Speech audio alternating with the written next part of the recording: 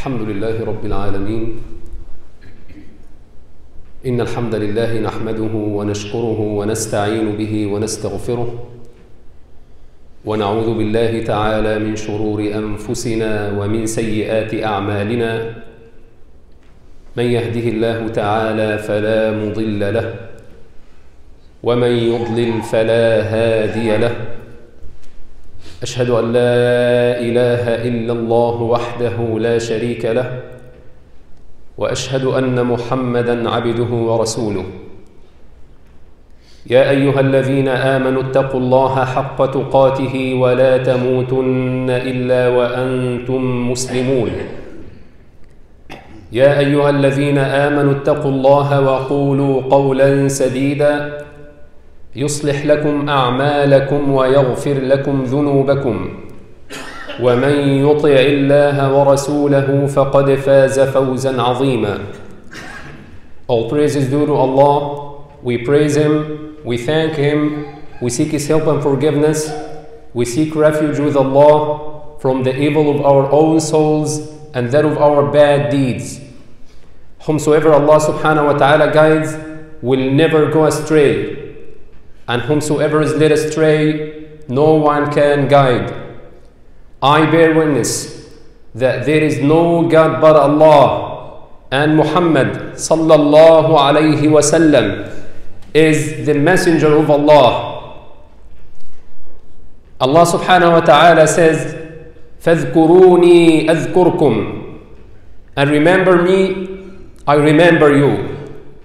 So, one act, one particular ibadah, we tend to overlook, which is remembrance of Allah.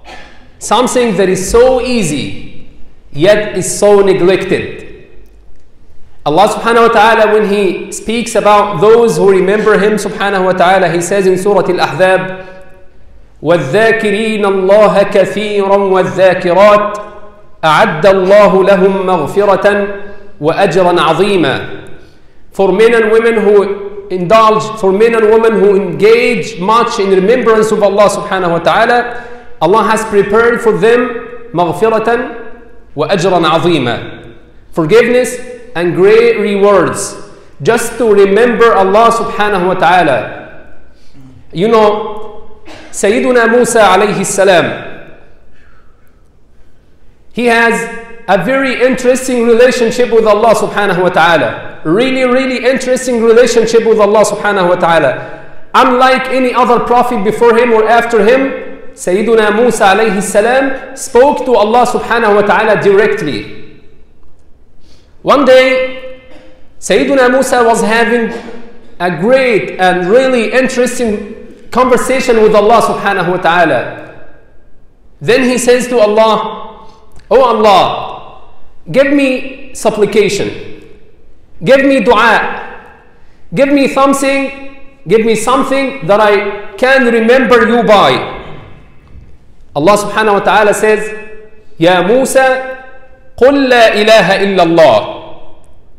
O Musa, say لا إله إلا الله. So Sayyidina Musa says, Oh Allah, I really say La ilaha illallah. And all the prophets that came before me also say, also said La ilaha illallah. You know, he's thinking like, I'm hoping for something a little bit more special for me. Musa, oh Allah, give me something I can remember you by and I want it to be customized. I want to be very special for me, Musa. Then Allah subhanahu wa ta'ala says, O Musa, don't you know that if the seven heavens and the earth and what it contains was placed in one end of the scale and La ilaha illallah was placed in the other, that La ilaha illallah would be heavier? Something that is so easy, something that can flow off your tongue, but it's massive in the eyes of Allah subhanahu wa ta'ala. It's great and heavy in the scales. In another hadith, the Prophet wasallam says, in a very great, incredible words, he says, كلمتان خفيفتان على اللسان ثقيلتان في الميزان حبيبتان إلى الرحمن سبحان الله وبحمده سبحان الله العظيم Wallahi, the English language cannot do this hadith justice. The Prophet ﷺ says, Kalimatan, there are two words, two sentences. خفيفتان على اللسان, very light on the tongue, very easy to say. But, he says, but ثقيلتان في الميزان, but they are heavy on the scales before Allah subhanahu wa ta'ala. So, some scholar was commenting on this heavy, on this word heavy, what do we mean by the word heavy in this hadith? Do we mean kilos, tons, or what? So this scholar was of the opinion that no matter, no matter how much you imagine these words, no matter how much you imagine these words to weigh on the day of judgment, they're gonna be heavier. Just to say Subhanallah wa bihamdih Subhanallah al-Azim and count your rewards. Try to say it day and night.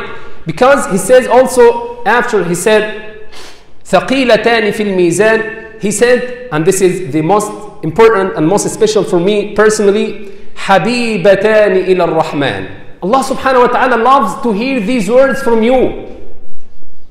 Uh, let me ask you, when you see two persons in a state of love, each one of them is dying, is longing to choose the better words, the right words, just to impress his beloved one, to impress his fiancée, to impress his wife, or to impress her husband. Yet the Prophet ﷺ told us that Allah subhanahu wa ta'ala, the Lord of the worlds, loves to hear these words from you. What are these words? Subhanallah wa bihamdi. Subhanallah al-azim So much effort we do to, to, to impress our friend, our wife, our fiancé. Yet the Prophet ﷺ told that just to say Subhanallah wa bihamdi, Subhanallah al-azim on a daily basis, Allah subhanahu wa ta'ala he, he loves to hear these words from you. So that's why Allah subhanahu wa ta'ala says, فَاذْكُرُونِي أَذْكُرْكُمْ If you remember me, in return Allah subhanahu wa ta'ala will remember you. What's the meaning of that? That Allah subhanahu wa ta'ala remembers you. How? The meaning here is that Allah subhanahu wa ta'ala will help you, will give you assistance, will give you guidance. This is the way how Allah subhanahu wa ta'ala remembers you. So now we have this remembrance, La ilaha illallah, and also subhanallah wa bihamdi subhanallah al-azim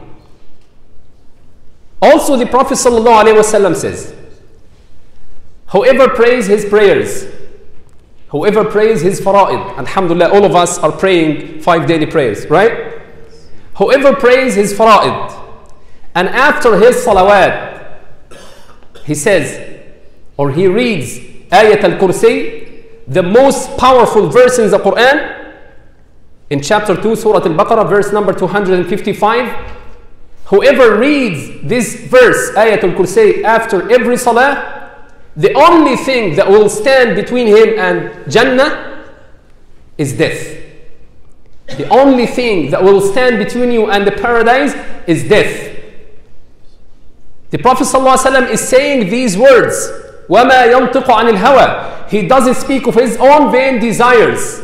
It is a revelation from Allah subhanahu wa ta'ala. Muhammad sallallahu alayhi wa sallam doesn't put salt and pepper to make things look appealing. No, what he says, what he speaks is truth. He says if you read Ayat al-Kursi, if you read it after every salah on a daily basis, if you are constant in reading this verse after every salah, so you are already from the people of paradise. أنت من أهل الجنة. This is a promise from the Prophet Muhammad sallallahu alayhi wasallam, and also a revelation from Allah subhanahu wa ta'ala. Again, another hadith, another interesting hadith. Whoever prays his prayers, and after his salah, he says, Subhanallah 33 times, Alhamdulillah 33 times, Allahu Akbar 33 times, and wraps it up to make it 100 by saying لا إله إلا الله وحده لا شريك له له الملك وله الحمد وهو على كل شيء قدير Whoever say these words after every salah, this remembrance after every salah, غفر الله له ذنوبه ولو كانت مثل زبد البحر. Allah subhanahu wa ta'ala will forgive his sins even if they are equivalent to the froth of the ocean. Look how much is there in remembrance of Allah subhanahu wa ta'ala. Great rewards, but just to remember it. You know, this is a really, really easy worship, easy act of worship, but how many of us remember to do it? This is the point. If you remember to say these azkar like La ilaha illallah, subhanallah wa bihamdih, subhanallah al-azim, please make sure that Allah subhanahu wa ta'ala loves you. That's why He reminds you of these adhkar. You can say it 100 times. Can you imagine if you say astaghfirullah? This you are seeking forgiveness from Allah subhanahu wa ta'ala. Just to say astaghfirullah 200 times, it will never take more than 5 minutes. In 20 hour, in, in, in 24 hours throughout the day. Just to say astaghfirullah 200 times, and we did this challenge in our masjid in Brandon. To say astaghfirullah 200 times, it will never exceed 5 minutes in your day. But how many of us remember to say it? This is the point. So please, make dhikr, make remembrance of Allah subhanahu wa ta'ala on a daily basis. Don't ever forget to remember Allah subhanahu wa ta'ala. Why? Because we need the help from Allah subhanahu wa ta'ala. We cannot do anything in this life except by the help, by the assistance of Allah subhanahu wa ta'ala. That's why the Prophet sallallahu alayhi wasallam was always making this dua. Allahumma a'inna ala dhikrika wa shukrika wa husni ibadatik. He was asking Allah subhanahu wa ta'ala to help him. Oh Allah, help me remember you. Help me remember you. أعنا على ذكرك وشكرك وشكرك. Oh Allah, help me remember you and thank you وحسن عبادتك and to worship you in an excellent manner. So first, you have to ask Allah to, to help you just to remember Him. This is the key. And when Allah subhanahu wa ta'ala helps you, give you this assistance, this guidance, inshallah, you will make this remembrance every day. And you have to know that you are successful in this way, you are in the right path. Why? Because Allah subhanahu wa ta'ala is the one who commanded us to make dhikr. فَذْكُرُونِي This is a direct command from Allah subhanahu wa ta'ala. And also one of the promises. The Quran has, has four promises. The first one is فَذْكُرُونِي أَذْكُرْكُمْ Allah subhanahu wa ta'ala promises, if you remember me, I remember you. So just imagine that Allah subhanahu wa ta'ala, the Lord of the universe, the Lord of the worlds, He remembers you. He gives you the guidance. He shows you the straight path. This is how Allah subhanahu wa ta'ala remembers you. So please, keep, keep saying La ilaha illallah every day. Keep saying Subhanallah wa bihamdihi, Subhanallah al-azim every day. And don't ever miss saying these words, these adhkar after your salawat, which is Subhanallah, and Alhamdulillah and Allahu Akbar, each one of them for 33 times, and to make it 100 by saying La ilaha illallah wahdahu la sharika lah, lahul mulk wa lahul hamd wa huwa ala kulli shay'in qadir. Also, don't ever forget to read Ayat al-Kursi. You know, this is the most powerful and the most great ayah verse in the Quran, in Surah Al-Baqarah as we said and as we mentioned. And also, if you just imagine the great rewards that you get from or through this ibadah, it's very easy to say, very easy to remember Allah subhanahu wa ta'ala, yet Allah subhanahu wa ta'ala is giving you great rewards as He promises. أعد الله لهم مغفرة وأجرا عظيما. Okay, and also in another hadith, the Prophet sallallahu alaihi wasallam says, whoever prays Salat al-Fajr and keeps at his place at the masjid till the sun rises and then he prays two rak'ahs. You know, he will get the rewards of making Hajj and Umrah. Just to keep at the masjid, if you have time, of course, if you have time, I mean, maybe in your weekends, just to keep at the masjid after Salat al Fajr till the sun rises. You remember Allah subhanahu wa ta'ala, your tongue is busy remembering Allah subhanahu wa ta'ala, whether by reading the Quran, whether by, by, by saying these adhkar, subhanallah, alhamdulillah, la ilaha illallah, Allahu akbar, or whatever. Allah subhanahu wa ta'ala will give you the rewards and if you make or as if you made Hajj and Umrah. Great rewards. But how many of us remember to do that? This is the point. In another hadith, the Prophet ﷺ tells that كل سلامة من الناس عليه صدقة كل يوم تطلع فيه الشمس. And another narration يصبح على كل سلامة من أحدكم صدقة.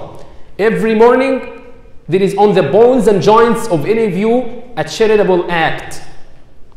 Then the Prophet ﷺ says فكل تسبيحة صدقة وكل تحميدة صدقة وكل تهليلة صدقة وكل تكبيرة صدقة and every time you say subhanallah Allah will consider it as as if you you gave charity you'll get this reward subhanallah is considered as charity alhamdulillah is considered with Allah subhanahu wa ta'ala as if you gave charity la ilaha illallah also will get the reward with charity Allahu Akbar Allah will give you the rewards with charity just to say these words, they are so easy to say. Subhanallah, Alhamdulillah, La ilaha illallah, Allahu Akbar. Maybe someone says, I don't have money to spend. I want to spend in the sake of Allah. I want to give charity. I want to pay zakat. But in fact, I don't have enough money. And also, I want to get the rewards of sadaqat, of charity. So what can I do? Just remember Allah subhanahu wa ta'ala. Say Subhanallah, Alhamdulillah, La ilaha illallah, Allahu Akbar, ولا حول ولا قوة إلا بالله. نسأل الله تعالى أن يتقبل منا ومنكم أقول قولي هذا وأستغفر الله العظيم لي ولكم.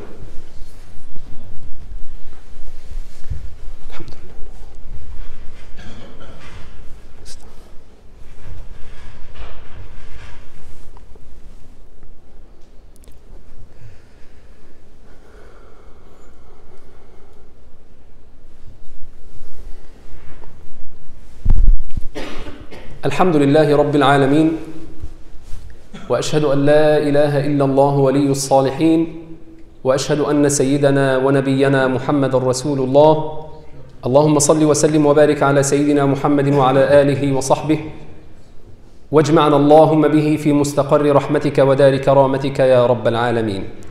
So Allah subhanahu wa ta'ala commanded us to remember him And in return, He promises that He will give us the help and the assistance, and He will remember us, inshallah. So, you know, what beautiful in remembrance, what beautiful and special in remembrance, that you don't have to be in a special room. You don't have to be in masjid somewhere. You don't have even to be in state of wudu. You don't have to, to be in, in, in these states. Just to remember Allah subhanahu wa ta'ala, wherever you are, whatever the condition is, nothing can prevent you from remembering Allah subhanahu wa ta'ala while you are driving, while you are at the house, while you are at the masjid.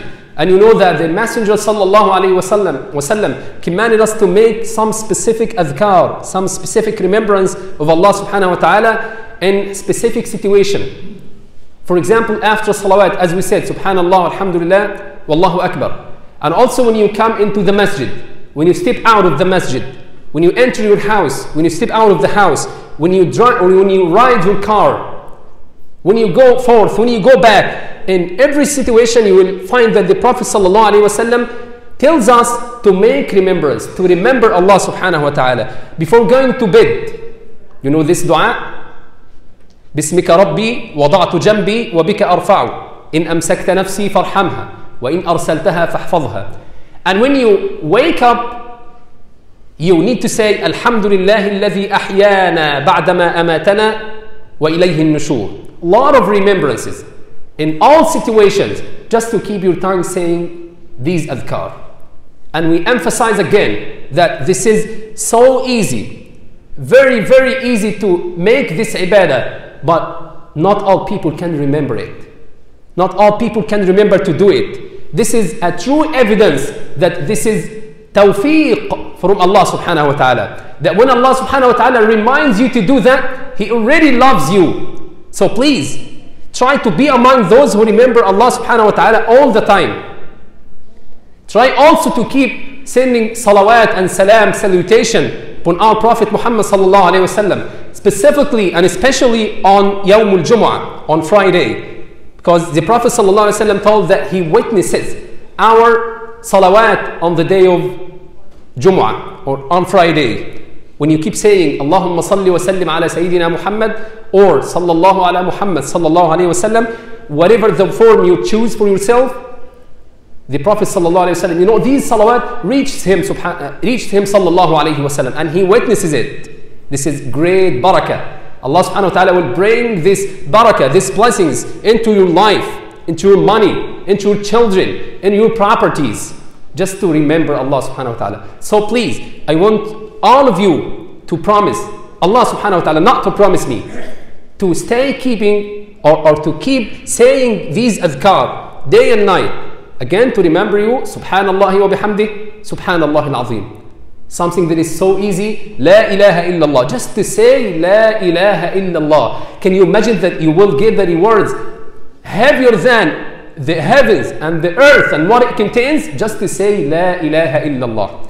And also to read Ayatul Kursi after every salah and as we remembered you a lot of time. نسأل الله تعالى اللهم أعنا على ذكرك وشكرك وحسن عبادتك.